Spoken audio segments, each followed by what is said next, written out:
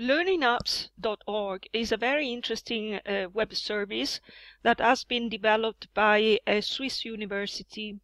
Um, by this service, you can create games, and what is particularly interesting about these games and makes them uh, particularly interesting for escape rooms is that when uh, you finish your game, which is a language game, it can be a game in any kind of subject, a message appears giving you uh, some feedback. In the feedback, you can um, write any code that is interesting to, to go on um, to the next step in an escape room game. So, for example, I have prepared this very, very simple game about animals in the savannah, which are hidden in the magic um, square. So uh, I'll, I'll, I'll um, solve the game very quick, quickly for you to show what I mean. So um, there are 10 animals that are hidden in here. There we are there's a giraffe here. And then we have the antelope we have the elephant and finally we have the ostrich. Here we are.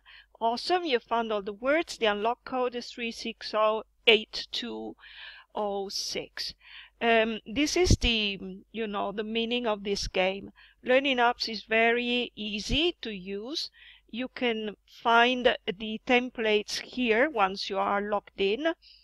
In uh, create apps but you can change the language if you like. I'll, I'll change the language straight away. So create apps and you have a number of templates.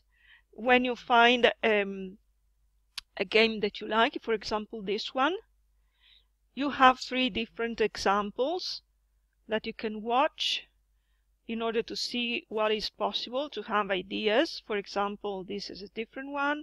The examples change every time.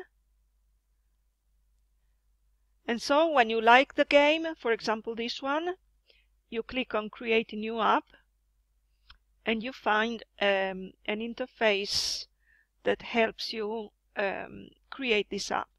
Um, in the feedback uh, box, you can write your solutions and your codes, whatever you like. I hope this is helpful.